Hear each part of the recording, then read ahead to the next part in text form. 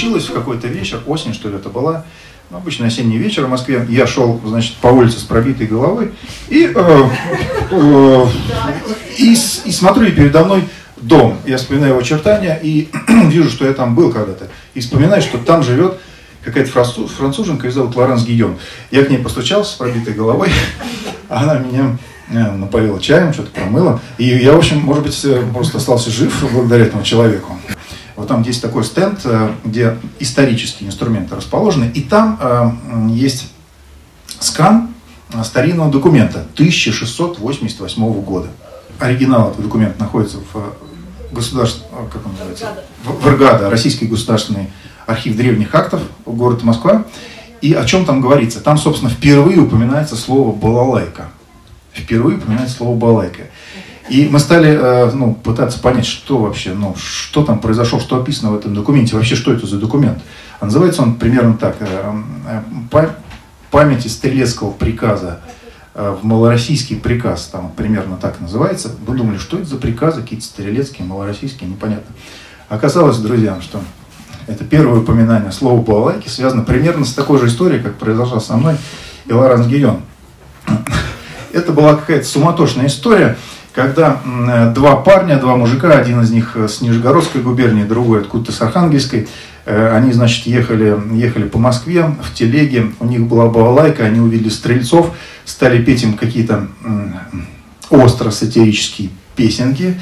Стрельцам это не понравилось, они, они повязали мужиков, помутузили их, скрутили, балайку отобрали, привели в стрелецкий приказ, и окажется, что стрелецкий приказ это то же самое примерно, что э, сейчас участок милиции, полиции. Вот, то есть они их э, привели, скрутили, и стрелецкий приказ это оказался просто протокол.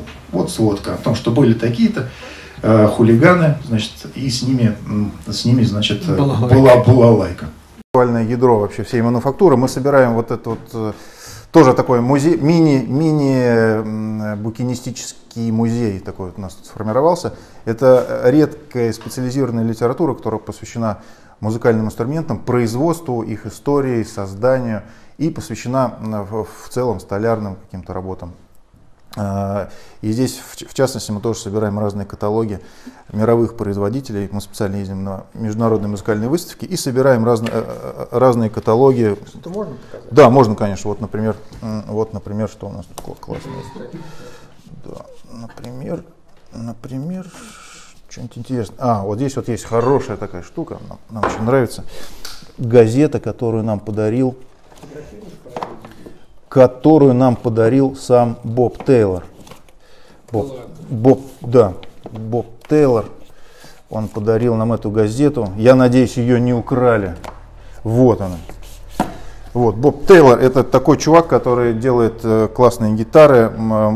Американская фирма Тейлор, э, одни из самых крутейших гитар. И вот они выпускают свой, вот, кстати, он на картинке, вот они выпускают свой такой журнальчик, Э, это их периодическое издание, внутри компании они распространяют и по своим партнерам. И здесь рассказано про всякие, про, про то, как они делают. А главное, самое прикольное, то, что они заботятся о древесине, они ага. пытаются рекультивировать те вот сорта дерева, которые просто уходят. Уходят, ну, из-за неправильного вырубки, из-за неправильной вырубки, да. Финансов, которые они зарабатывают. Они зарабатывают деньги, а потом сами вкладываются вот дерево. просто в дерево. Здорово. И, ну, представляете, сколько дерева растет? Да, вот. Оно растет сотни лет особенно каким-то там красное дерево, черное дерево. Это потрясающий, конечно, человек. Вот нам подарил такой, вот такой свой журнал. И мы, да, библиотека, мы все это копим для того, чтобы просто ребят, которые у нас работают, они тоже смогли подпитаться от этого. Запах древесины передать никак невозможно, но поверьте, он здесь присутствует. Заходите сюда. На самом деле балалайка начинается вот здесь вот. Э, вот здесь вот э, с таких неотесанных досок, э, с пиломатериалов, как их называют промышленники. И вот, собственно, тут дерево, оно у нас отлеживается, отсушивается или досушивается. Разные пиломатериалы. Вот, вот сейчас я вам что-нибудь покажу такое. Вот, например, одно из самых любимых деревьев. Вот, вот как думаете, что это такое? Ну, а... Вот его можно там тереть, нюхать. Вот как думаете, что это? Вот что это такое? Хочется сказать, что это дуб. Дуб. Нет, это не дуб. Дуб вообще не испо... стараются не использовать в музыкальной промышленности. Не очень музыкальное дерево, плохо звучит. Ну, сосна. Гоша. Нет, не сосна. Александр, может. Палисандр. Вот чуть-чуть поближе. Но, но растет в наших широтах. М, Не знаю. Расскажи. Э, Это на самом деле груша. Груши. Это груша дичка. Нельзя скушать. Да, эту грушу нельзя скушать, но можно сделать отличную балалайку. Если к нам приезжает доска и у нее, ну скажем там, 8-9% влажности, то мы знаем, что она должна у нас месяцев 6-7 полежать. И тогда она скинет еще пару процентов, и она будет уже 6% влажности. Это уже материал, Серж, который можно... Вопрос дилетанта. Да. А как вы определяете влажность? Прибор какой? Влагомер есть. Влагомер? Специальный влагомер, он втыкается прямо в дерево, э, какое-то время он там э, впитывает из него соки и потом показывает влажность. Вот, вот что это за дерево такое? Вам, как эксперту. Не стесняйтесь. Не, не стесняйтесь, не надо смущаться, вот, вот можно потрогать его. На самом деле вот такой ореховый гриф. Это орех. И это тоже. Это И это орех, да. Он бывает разный, фактурный, вот здесь он с светлыми прожилками, а здесь он вот такой. А это влияет? Вот, э, вот это, Немножко влияет, стараемся отбирать, конечно, чтобы он был более темненький. да? Чтобы он был темненький. Темный. А когда его э, на готовом инструменте, он становится шоколадного цвета. И он, когда его пилят, он немножко пахнет шоколадкой. Вот. По-настоящему. А еще э, вот здесь иногда я смотрю просто за метаморфозами, которые происходят. Э, вот грубые достаточно станки такие, вот тут пила стоит такая круглая, вот с такими зубьями жесткими, такие вот упоры, все это вот металлическое, чугунное. А на выходе получаются вот такие штучки. Маленькие, маленькие вот такие вот, вот, вот Изящный. Из чего подставки? изящные. Вот это, например, это кленовая. Это кленовая. У нее это подставка для балалайки, подставка под струны. У нее есть обалденное народное название. Вот у нее. Она нам очень нравится. Вот, вот эта штука. э, народные музыканты, крестьяне современные, они называют эту вещь кобылка. Кобылка. Кобылка, потому что она вот такой изогнутой формы. И действительно она немножко кобылит так вот. Кобылка, очень красивое название, очень образное, очень такое русское. И мы его тоже употребляем. То есть в своей терминологии мы немножко нарушаем профессиональную этику и всегда называем ее кобылкой. И за это на нас иногда профессиональные музыканты смотрят так, немножко так с подозрением. С подозрением. Вот. Но нам очень нравится, потому что это очень старая традиция, и она идет откуда-то из глубины просто. Вот здесь такая, ну, если выражаться таким церковным языком, то это такая алтарная часть.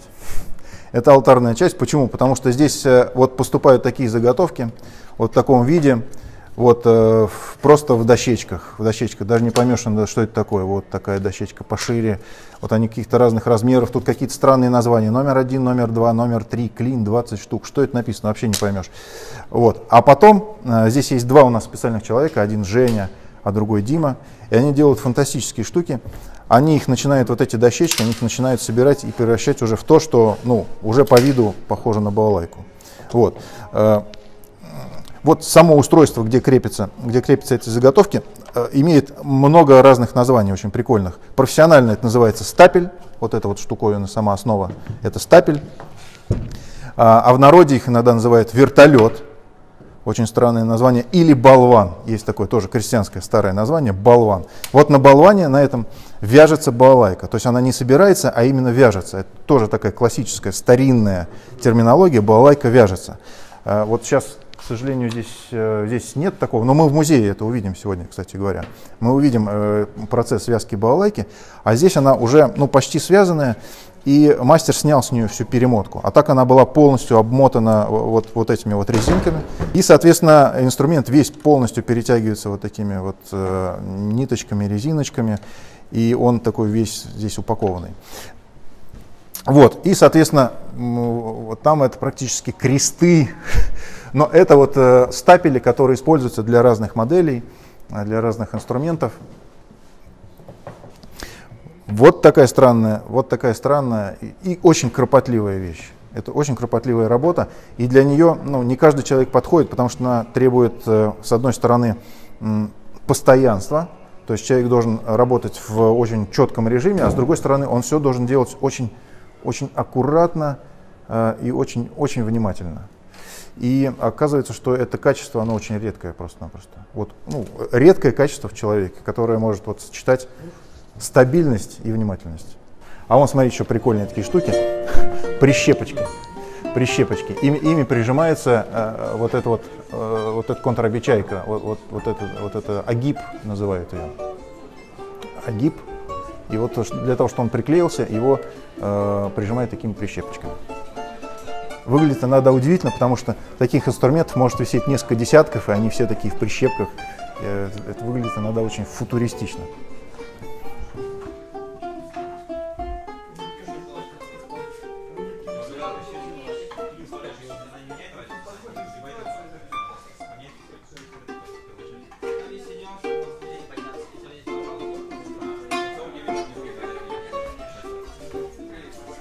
В основном мы знаем, что балалайка это, ну что это такое? Это три струны, да, вот. Это. Три, балалайка три струна, я хозяин всей страны, обычно так говорят. На, наши гости в музей, которые приходят, они обычно вот так и говорят, балалайка три струна. А на самом деле бывает такое, что ну, здесь вот больше дырок, вот тут вообще четыре. Немножко не так по-гитарному расположено. А тут вообще просто безумие какое-то, тут шесть штук, шесть дырок. Шесть дырок. Вот многие с недоверием к этому относятся, а оказывается, что э, вот оказывается, что нет. В народе очень популярны э, удвоенные струны. То есть балалайка остается по-прежнему трехструнной, просто каждая струна удваивается, например, и она становится как мандолина, совершенно верно. Совершенно верно. Она становится практически и очень, очень похожа. У нее сразу меняется тембр, она немножко напоминает что-то такое мандолинное, что-то такое ирландское слегка чуть-чуть вот такой вот тембр. Э, он немножко переформатирует сам инструмент и ну, открывает в нем совершенно новые грани фантастические. Вот, просто за счет того, что удвоенная струна. Тоже старая традиция. Делали ее и на советских фабриках, э, и в артелях, и в дореволюционных артелях, и просто в кустарных условиях. Так что мы тоже воспроизводим эту модель.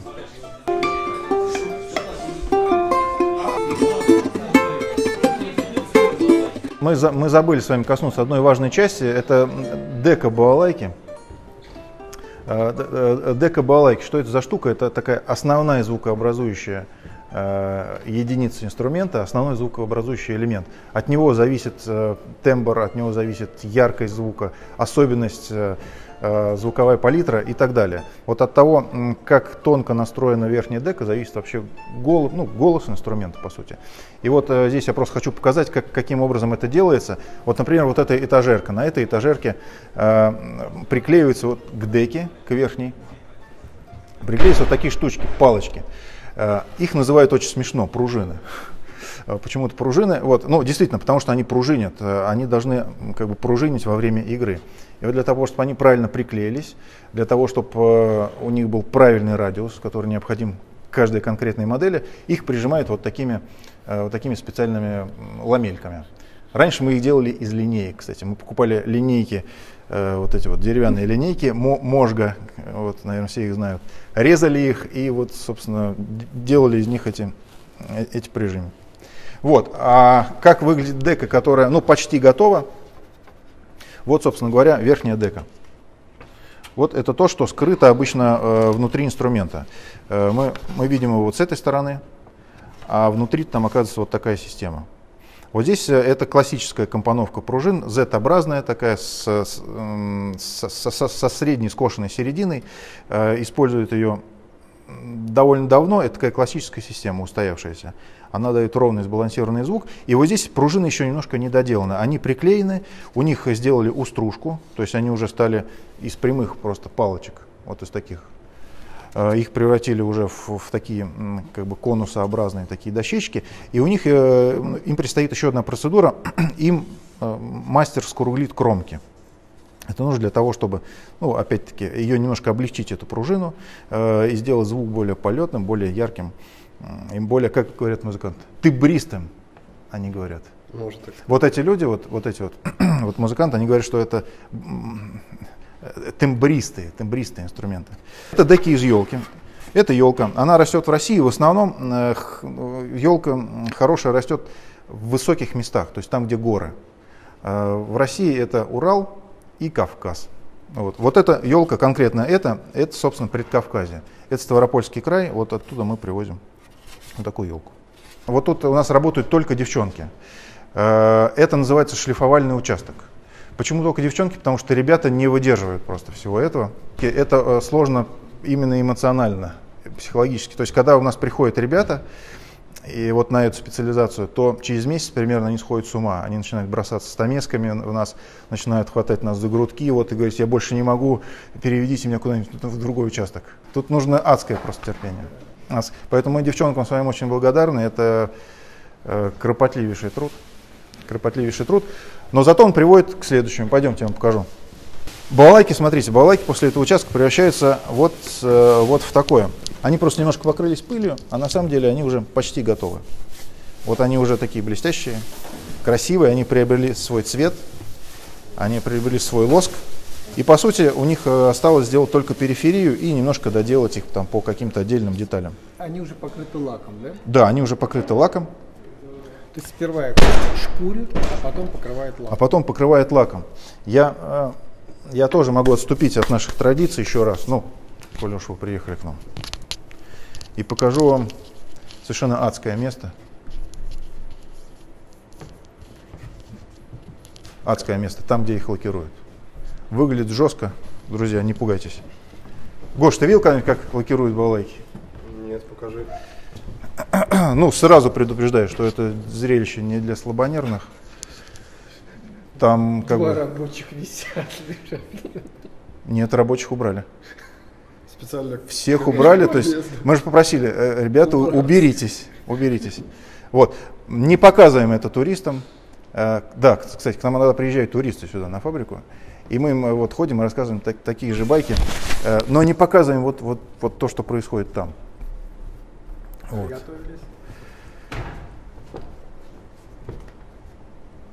Так, соберитесь, соберитесь. Варя, соберитесь. Прошу вас, проходите за мной. Вот, пол, весь улит. Все улито. Вот здесь тоже страшно. Бутылки со странными смесями. Здесь ящик, там вообще непонятно что. Надписи, банки, краски. Краски. Но самое главное это вот, вот это вот. Это балалайки. Только вчера их полачили. Вот это загрунтовали, а вот это полачили. Есть две процедуры. Одна грунтовка, это другая. грунтовка, да? Это грунтовка. Это первый То слой. есть она более матовая такая, да? Более матовая, да. И Сергей поможет рассказать как раз а,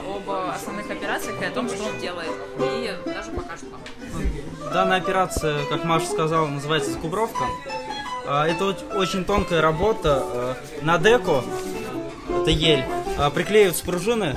На данную модель две пружины приклеиваются. И здесь важно их правильно настроить. То есть от того, как будут отструганы пружины, будет зависеть, как будет звучать инструмент.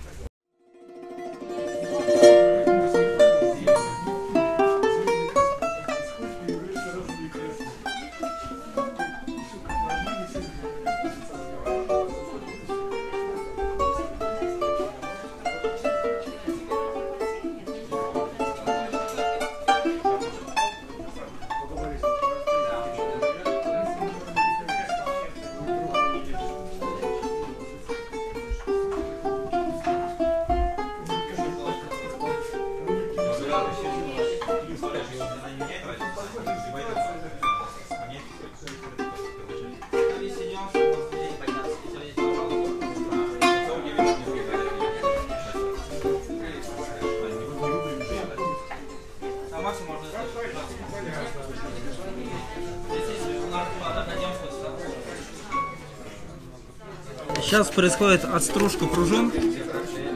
То есть мы делаем скосы, то есть у нас... Эти деревяшки вы называете пружинами. Пружина, да, пружина вот, это, вот такая деревяшка. Она имеет одну ровную поверхность, и одна поверхность имеет радиус определенный. Да, вот, можно посмотреть. А именно приклейка пружин происходит вот так. То есть дека немного выгибает. Это чтобы был купол и дека лучше работала. То есть, потому что у балайки дека работает не как там у гитары, допустим, она работает на пружине, вот так вот. Сам корпус внутри проклеивается такими ситцевыми вкладышами. Э, Тоже девчонки эту делают работу. А потом приклеивают марку. На, марку, на марке мы специально пишем вот город Ульяновск.